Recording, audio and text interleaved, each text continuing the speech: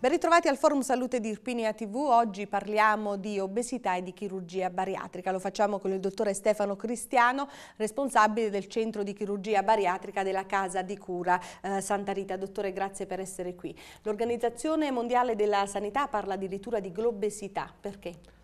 Eh sì, perché l'obesità oggi va considerata una vera e propria epidemia dal punto di vista patologico, una malattia in grandissimo aumento in tutto il mondo occidentale, addirittura anche nei paesi in via di sviluppo, quale l'India per esempio, che ha un'altissima incidenza. Per cui le strategie devono, per combattere questa patologia sono, devono essere di tipo multispecialistico, devono essere anche di tipo internazionale, perché si tratta di una vera diciamo, epidemia che porta con sé poi associate tutta una serie di altre patologie, quali il tumore, il diabete, eh, Quindi curando l'obesità si possono avere sì, dei risultati esatto. anche per quanto riguarda queste altre patologie. Esatto, per cui è importante incidere su quella che è la causa primaria per poter anche abbassare le incidenze di queste altre patologie così, così gravi. Ecco perché rappresenta una problematica che ha acquisito così importanza a livello dell'Organizzazione Mondiale della Sanità, a cui la stessa organizzazione ha dato questa definizione di globesity.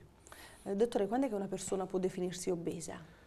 Guardi, non è soltanto dal, dal, livello del peso corporeo come molti eh, credono, in realtà tutti noi specialisti facciamo riferimento a un indice che è l'indice di massa corporea che è un rapporto tra peso e altezza del soggetto.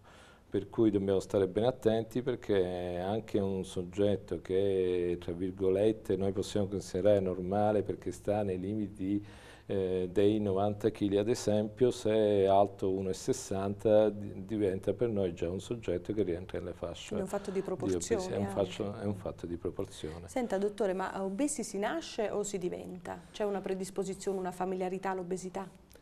Sicuramente c'è una predisposizione familiare, non tanto questo lo si sta studiando, non soltanto geneticamente, ma soprattutto nei, nei modi e nei comportamenti di quella famiglia. Noi abbiamo noi che curiamo questa malattia sì, eh, sicuramente abbiamo nelle nostre casistiche eh, casistiche di intere famiglie. Perché questo? Perché nell'ambito di una famiglia ci sono dei comportamenti alimentari errati, questo sicuramente incide. Eh, obesi dobbiamo dire gran parte si diventa perché il mondo occidentale lo è diventato nel corso dei, dei decenni, quindi i, i, modi, i comportamenti di vita sono fondamentali nello sviluppare obesità. Allora una vita molto sedentaria come quella oggi, davanti al computer, eh, una vita molto comoda, eh, gli stimoli pubblicitari, alimentari, eccetera, incidono sicuramente sullo sviluppo di questa patologia. Quindi, dottore, cambiando lo stile di vita, diciamo, si può dare inizio già ad un approccio terapeutico?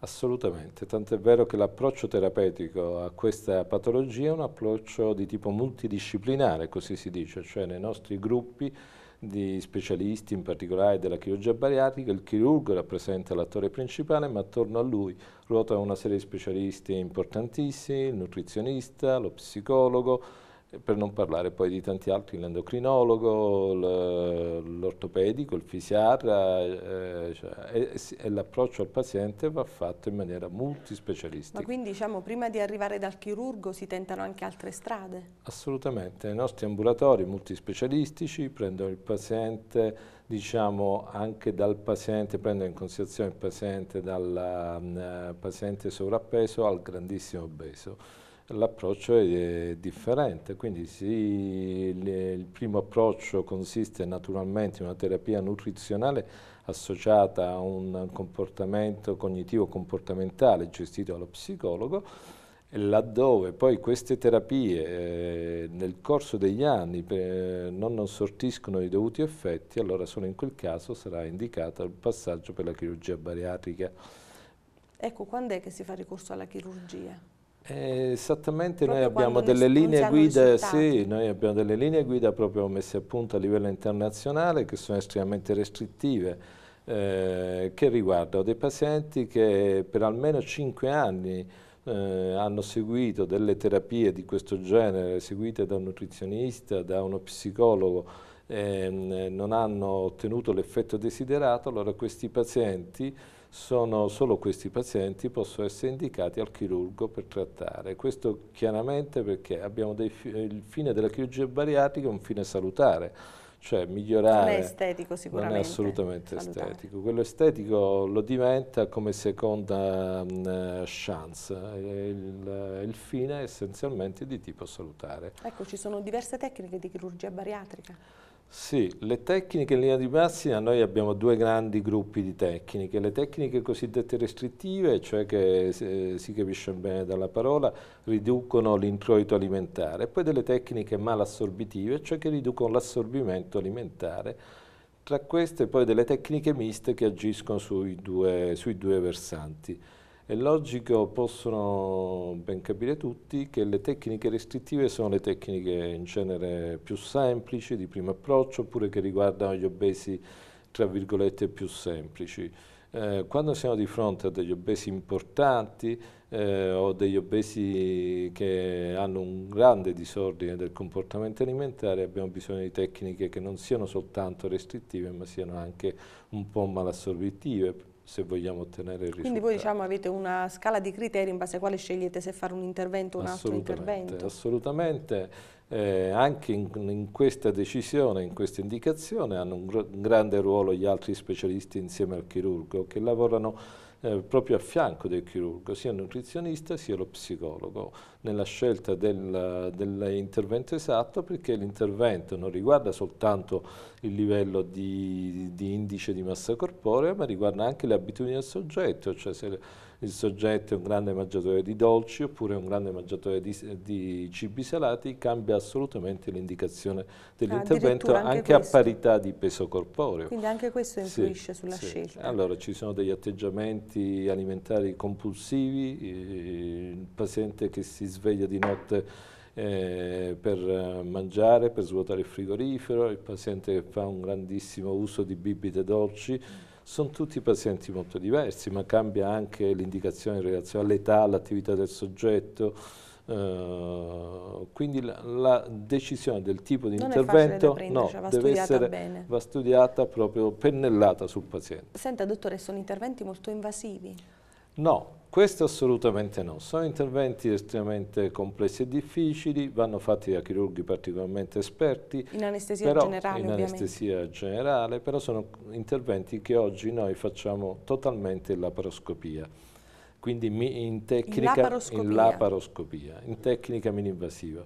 Questo ha un ruolo fondamentale perché l'obeso che va sul tavolo operatorio per, per noi chirurghi, per eh, garantire un rischio diciamo, minimo, eh, dobbiamo garantire che l'obeso riprenda la sua attività fisica immediatamente, quanto prima, proprio per evitare quelli che sono gli unici rischi che l'obeso realmente corre, come l'embolia, eh, la stasi venosa. Allora è, è importante... Questi sono rischi che poi possono uh, presentarsi anche dopo l'intervento? o solo durante l'intervento? No, questi sono rischi che si possono presentare nei primi tempi dopo l'intervento, ma nei, in tempi precoci. Eh, sono rischi che oggi con la chirurgia mini-invasiva, con la chirurgia laparoscopica abbiamo assolutamente abbattuto, sono quasi eh, diciamo, ridotti vicino allo zero. Ecco, dottore, mi spiega un po' diciamo, le due tecniche, vorrei capire un po' meglio. Il restringimento, in effetti, che cosa fate? Allora, l'intervento restrittivo più importante, più diffuso al mondo è il bendaggio gastrico che molti pazienti conosceranno e consiste in una vera e propria fascetta che noi inseriamo alla bocca dello stomaco, riducendo in questa maniera l'introito alimentare e facendo in modo che il paziente, grazie a questa fascetta che poi è regolabile, eh, regolabile da noi attraverso una piccola valvolina sottocutanea invisibile per gli altri ma che il chirurgo conosce eh, è possibile gestire la quantità di alimenti che il paziente quotidianamente ingerisce provocando una sazietà precoce. Ma quindi diciamo questo uh, non è diciamo, che ti toglie il grasso, cioè ti, ti evita di pe peggiorare la situazione? No, ti consente di ridurre in maniera graduale, mese per mese, il peso corporeo fino a raggiungere il tuo peso. Ma ah, quindi ideale. poi comunque c'è un dimagrimento poi, diciamo che, che viene gestito, viene, viene gestito e controllato. Sicuramente il, il, um, eh, la maggior parte del dimagrimento avviene nei primi sei mesi. Nei primi sei mesi si raggiunge il, proprio il dimagrimento vo voluto per circa il 90%. Diciamo non è un intervento tipo liposuzione che assorbe? No, questo, questo, questo, no. questo tipo di interventi viene effettuati, è necessario, però è una fase successiva. Mm. E si tratta in, in quel caso di, del cosiddetto rimodellamento corporeo che noi facciamo al paziente nel momento in cui ha raggiunto il suo nuovo stato e ci sono, consideriamo, pazienti che dimagriscono anche 100 kg, quindi immaginiamo... In quanto tempo, le, in media? In media nel giro di un anno quindi non tanto, cioè nel giro di un anno e mezzo il paziente già si assesta al suo peso normale. Quindi comunque il paziente dopo dovrà uh, sottoporsi ad una dieta, diciamo, sì. continuare comunque nel percorso, non è fatto l'intervento, no, finisce lì? No, e questa è la funzione dell'equipe multidisciplinare, assolutamente, l'equipe multidisciplinare si sposa, come noi diciamo, questi pazienti, si sposa a vita quasi nel senso li, ne, ne, prende cura prima dell'intervento, durante l'intervento, ma soprattutto dopo l'intervento. E quindi c'è anche la possibilità che poi un paziente debba fare anche un secondo intervento? Sì, e questo secondo intervento quasi sempre è un intervento di chirurgia plastica, di chirurgia plastica fatta da persone molto esperte che, tendono, ehm, che hanno come obiettivo il rimodellamento di questo corpo che ha assunto un altro tipo di, di situazione. Questo questi interventi di chirurgia plastica può avvenire in più tempi, nel senso che se si tratta di una, di una donna, ad esempio, potrebbe darsi che sia necessario ricostruire l'addome, il dorso in un unico tempo, ma successivamente il seno, successivamente le braccia, eh, quindi potrebbe avvenire anche quindi più, più interventi per rimodellare poi il corpo, Assolutamente. a questo punto anche per una funzione estetica, non sì. solo salutare. No, in questo caso estetica. essenzialmente per una funzione estetica, però è importante sul piano psicologico, perché altrimenti aver ottenuto poi questa grande riduzione del peso però non ti vedi no, poi esatto, per, eh, può essere un grande successo per il chirurgo però un successo diciamo parziale per la paziente Senta dottore, siamo in chiusura, si fanno parecchi interventi di questo tipo in Italia?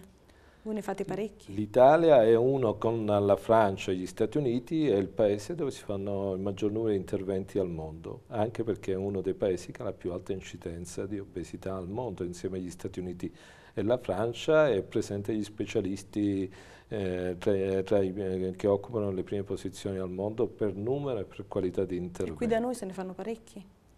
Qui da noi in Campania se ne fanno moltissimi e la Campania conta insieme al sottoscritto altri due centri che sono di riferimento nazionale. Eh, forse è la regione che conta un maggior numero di centri che sono accreditati dalla Società Italiana di Chirurgia dell'Obesità per qualità e numero di interventi. Anche un maggior numero di obesi forse, sì, visto che sono poi nati qui i centri. Conta, eh, consideriamo che la Campania è oggi, forse a livello europeo, la regione che ha la più alta incidenza di obesità adolescenziale.